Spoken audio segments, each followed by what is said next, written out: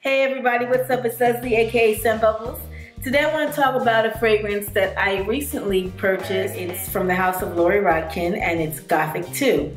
So this is a very heavy patchouli based fragrance with notes of Madagascar vanilla, cloves, incense, sandalwood, frangipani, Indian patchouli, and patchouli. So when I initially got this fragrance, I immediately got a very starking resemblance to Angel by the house of Thierry Mugler, which is this.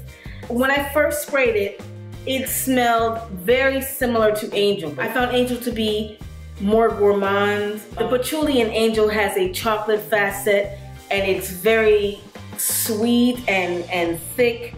And I found that the similarities ended there in the opening. And, and those similarities only lasted about maybe 30 minutes. Let's see the opening. After the opening starts to develop in Gothic 2, I found that it took a turn in a completely different direction. Um, the patchouli in Gothic 2 is a dirty patchouli. It's earthy. Um, it's really beautiful. And it kind of takes a small gourmand turn with the vanilla. I initially thought that, okay, well, it's gone after like three hours, but I was at a dinner and they could smell it on me hours and hours later. I had worn it to work that day. I had some things to do and I went out to, to dinner and I thought that it was more subdued. I didn't reapply because, you know, you're going out to dinner with people you don't want to um, have a strong fragrance on. So I thought it was long gone. But people actually commented and said, wow, I, I actually can smell it still. I was like, you do? Do you like it? They're like, yeah. And they wrote down the name. So they did like it and I did get compliments on it, which is good because, you know, you kind of think that, okay, well, maybe this might be a little bit too casual for the atmosphere, but it actually went over well. I think that this is a very good casual fragrance and it's a great everyday fragrance if you love patchouli.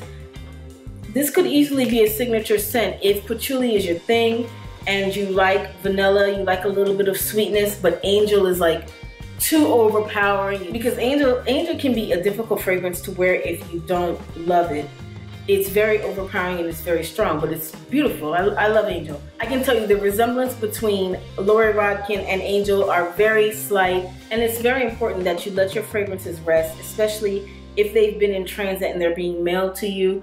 It is important to let them rest because I, where I live, it's, it's hot, so the fragrances, a lot of times I notice that when I first receive them, they smell differently a few weeks down the line. It could be two weeks, it could be a month, it could be six weeks. You have to let the fragrance settle and rest because if it's been transported out in the heat for like, you know, seven days, it does affect the fragrance. So you have to give it a chance to kind of rest and settle back in.